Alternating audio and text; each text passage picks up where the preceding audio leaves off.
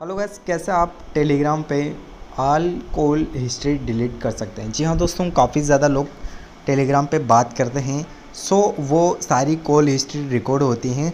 और वो call history को आप कैसे टेलीग्राम पर ही डिलीट कर सकते हैं? आसान सा तरीका और प्रोसेस बताता हूँ इस वीडियो में। तो चलिए स्टार्ट करते हैं। टेलीग्राम पे दोस्तों, हम इस तरीके से आएँगे, ठीक है? ये हमारा टेलीग्राम आने के बाद दोस्तों, आपका फ्रेंड जैसे कि कोई भी हो गया ठीक है? तो आप जैसे कि उस पर क्लिक करते हो, ऊपर राइट साइड में देखते हो एक कॉल का ऑप्शन आता है, यहीं से बात होती है, ठीक है? आपको नहीं पता तो इस तरीके से आपको नॉर्मली सभी को पता ही होता है कि यहाँ पर आप क्लिक करोगे तो आपको यहाँ पे क्या बोलेगा? राइट साइड में एक थ्री लाइन का ऑप्शन मिलेगा लेफ़्ट साइड में इस पर क्लिक करें एंड आपको यहाँ पर दोस्तों एक आराम से ही मिल जाएगा। यहाँ पर कॉल का ऑप्शन इस पर क्लिक कीजिएगा।